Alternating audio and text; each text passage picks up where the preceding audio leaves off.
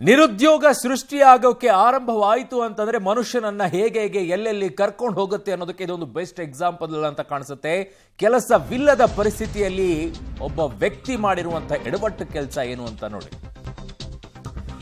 ಬಡಂಬೂರು ACP ಕಚೇರಿಯಲ್ಲಿ ಬಾಂಬರ್ಗೆ ಬೆಂಡನ್ನ ಎತ್ತಲಾಗ್ತಾ ಇದೆ. ಪ್ರತಿಕಾರಕ್ಕಾಗಿಯೇ ವಿಧ್ವಂಸಕ ಕೃತ್ಯವನ್ನ ಎಸಗಿದೆ ಅನ್ನೋದನ್ನ ತಪ್ಪೊಪ್ಪಿಕೊಂಡಿದ್ದಾನೆ ಮಂಗಳೂರು ಪೊಲೀಸರ ಎದುರು ಆದಿತ್ಯ ರಾವ್ ತಪ್ಪೊಪ್ಪಿಕೊಂಡಿರೋದು ಸರಿಯಾದ ಕೆಲಸವಿಲ್ಲದೆ. ಅಂದ್ರೆ ಅವರು ಕಲ್ತಿರುವಂಥ ಶಿಕ್ಷಣಕ್ಕೂ ತಮಗೆ ಕೆಲಸ ಸಿಗದೆ ಇರೋದಕ್ಕೆ ಮಾನಸಿಕವಾಗಿ ಖಿನ್ನತೆಗೆ ಒಳಗಾಗಿದ್ದೆ. ಯೂಟ್ಯೂಬ್ನಲ್ಲಿ ಉಗ್ರರ ವಿಡಿಯೋ ನೋಡಿ ಪ್ರಭಾವಿತನಾದೆ.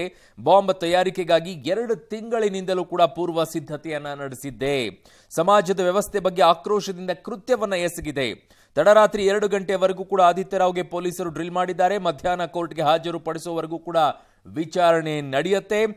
ಒಂದು ಕಡೆಗೆ ಸರಿಯಾದ ಕೆಲಸ ಇಲ್ಲ, ಹಾಗಾಗಿ ಮಾನಸಿಕ ಖಿನ್ನತೆ ಅಂತ ಹೇಳ್ತಾ ಇದ್ದಾರೆ. ಮಗದೊಂದು ಕಡೆಗೆ ಯೂಟ್ಯೂಬ್ನಲ್ಲಿ ಉಗ್ರರ ವಿಡಿಯೋ ಬೇರೆ ನೋಡ್ತಾರೆ. ಜೊತೆಗೆ ಬಾಂಬ್ ತಯಾರಿಕೆಗಾಗಿ ಎರಡು ತಿಂಗಳಿನಿಂದಲೂ ಕೂಡ ಪೂರ್ವ ಸಿದ್ಧತೆ ಹೀಗಿರಬೇಕಾದ್ರೆ ಮಾನಸಿಕ ಖಿನ್ನತೆ ಹೇಗೆ? ಸಮಾಜದ ವ್ಯವಸ್ಥೆ ಬಗ್ಗೆ ಆಕ್ರೋಶ ಈ ರೀತಿಯಾಗಿತ್ತು, ಆದರೆ ಜನ ಏನು ಮಾಡಿದ್ರು? ಆ ಬಾಂಬ್ ಸ್ಫೋಟ ಆಗಿದ್ರೆ ಪರಿಸ್ಥಿತಿ ಏನಾಗ್ತಾ ಇತ್ತು? ಇವು ಹಲವು ಪ್ರಶ್ನೆಗಳಿದೆ. ಈಗ ಸದ್ಯಕ್ಕಂತೂ ಅವರ ವಿಚಾರಣೆ ನಡೆಸಲಾಗ್ತಾ ಇದೆ. ಮಧ್ಯಾಹ್ನ ಕೋರ್ಟ್ಗೆ ಹಾಜರುಪಡಿಸೋವರೆಗೂ ಕೂಡ ವಿಚಾರಣೆಯನ್ನ ಮಾಡ್ತಾರೆ. ಸರಿಯಾದ ಕೆಲಸ ಇಲ್ಲದೇನೆ ದೇಶದಲ್ಲಿ ನಿರುದ್ಯೋಗ ತಾಂಡವಾಡ್ತಾ ಇದೆ. ಸೊ, ಈ ಸಂದರ್ಭದಲ್ಲಿ ಯಾವ್ಯಾವರು, ಯಾರ್ಯಾವ ರೀತಿಯಾಗಿ ಹಾದಿಯನ್ನ ಹಿಡಿತಾರೆ ಅನ್ನೋದಕ್ಕೆ ನೀವು ಗಮನಿಸ್ಬೋದು. ಸಮಾಜ ಕಲಿತಂಥ ವ್ಯಕ್ತಿಗಳಿಗೆ ನೀನಿಂಥ ಕೆಲಸ ಮಾಡ್ತಾ ಇಲ್ಲ, ನಿನಗೆ ಕೆಲಸ ಸಿಗ್ತಾ ಇಲ್ಲ ಅಂತೇಳಿ ಹೀಯಾಳಿಸ್ತಾ ಇರಬೇಕಾದ್ರೆ, ಅಂಥ ಮಾತುಗಳು ಚುಚ್ತಾ ಇರಬೇಕಾದ್ರೆ, ಅಥವಾ ನಾವು ಕಲ್ತಿರುವಂಥ ಶಿಕ್ಷಣಕ್ಕೂ ನಮಗೆ ಕೆಲಸ ಸಿಗದೇ ಇದ್ದಾಗ ಮನುಷ್ಯ ಹೇಗೆ ಆಗ್ತಾರೆ ಅಂತ ಹೇಳಿ. ಎಸ್, ನನ್ನ ಸಹೋದ್ಯೋಗಿ ಸುಖಪಾಲ್ ಪೊಳ್ಳಿ ನನ್ನೊಂದಿಗೆ ನೇರ ಸಂಪರ್ಕಕ್ಕೆ ಸಿಗ್ತಾ ಇದ್ದಾರೆ. ಸುಖಪಾಲ್, ಈಗ ಏನಾಗ್ತಾ ಇದೆ? ವಿಚಾರಣೆ ಸಂದರ್ಭದಲ್ಲಿ ಇನ್ನೇನಾದ್ರೂ ವಿಶೇಷವಾಗಿರುವಂತಹ ವಿಚಾರಗಳೇನಾದ್ರೂ ಆಚೆ ಬರ್ತಾ ಇದೆಯಾ ಸುಖಪಾಲ್? ತನಿಖೆ ಮಾಡಿಲ್ಲ ಅದನ್ನ.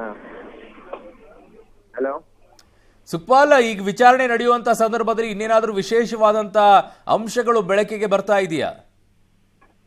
ಇಲ್ಲ, ಅರುಣ್ ಅವರು, ಪ್ರಮುಖವಾಗಿ ಅವನು ಆ ಕೆಲವೊಂದು ವಿಚಾರಗಳನ್ನ ಬಾಯ್ಬಿಟ್ಟಿರುವಂತದ್ದು. ಅವನು ಹೇಳಿರುವ ಪ್ರಕಾರ ಅವನಿಗೆ ಮಾನಸಿಕ ಖಿನ್ನತೆ ಇತ್ತು ಅನ್ನುವಂಥದ್ದನ್ನು ಆತ ಹೇಳ್ತಾ ಇರುವಂತದ್ದು. ಯಾಕಂತ ಹೇಳಿದ್ರೆ ಸಾಕಷ್ಟು ಆತ ತೊಂದರೆ ಅನುಭವಿಸಿದ್ದೇನೆ ಅನ್ನುವಂಥದ್ದನ್ನು ಆತ ಬಾಯ್ಬಿಟ್ಟಿದ್ದಾನೆ. ಕಳೆದ ಆತ ಈ ಹಿಂದೆ ಮಾಡಿರುವಂತ ಕೃತ್ಯ ಏನಿದೆ, ಫೋನ್ ಫೋನ್ ಮಾಡಿ ಬೆದರಿಕೆ ಕರೆ ಇಟ್ಟಂತದ್ದು ಇಟ್- ಇಟ್ಟಿರುವಂತದ್ದು. ಆ ಸಂದರ್ಭದಲ್ಲೂ ಆತನು ಸಾಕಷ್ಟು ತೊಂದರೆ ಅನುಭವಿಸಿದ್ದೇನೆ ಅನ್ನುವಂಥದ್ದನ್ನ ಆತ ಈಗ ಬಾಯಿ ಬಿಟ್ಟಿರುವಂತದ್ದು. ಈ ಎಲ್ಲ ಕಾರಣಗಳಿಂದಾಗಿ ನಾನು ಏನಾದ್ರೂ ಮಾಡ್ಲೇಬೇಕು ಅನ್ನುವಂತ ಹಿನ್ನೆಲೆಯಲ್ಲಿ ಆತ ಈ ರೀತಿಯಾಗಿ ಬಾಂಬ್ ಅನ್ನ ತಯಾರು ಮಾಡಿರುವಂತದ್ದು. ಅದರ ಜೊತೆಗೆ ಬಾಂಬ್ ತಯಾರು ಮಾಡ್ಲಿಕ್ಕೂ ಆತ ಸಾಕಷ್ಟು ತರಬೇತಿಗಳನ್ನ ಯೂಟ್ಯೂಬ್ ಮೂಲಕ ಅವನು ಪಡ್ಕೊಂಡಿರುವಂತದ್ದು ಅನ್ನುವಂಥದ್ದನ್ನ ಆತ ಬಾಯಿ ಬಿಟ್ಟಿರುವಂತದ್ದು ಅರುಣ್ ಓಕೆ ಕುಣಿಯಕ್ಕೆ ಬರ್ಲಿರೋ ನೆಲಾಡೊಂಕು ಅಂತಾರಲ್ಲ ಹಂಗಾಯ್ತು ಇವನ ಪರಿಸ್ಥಿತಿ. ನಿಮ್ಮೆಲ್ಲ ಮಾಹಿತಿಗಾಗಿ ಧನ್ಯವಾದಗಳು.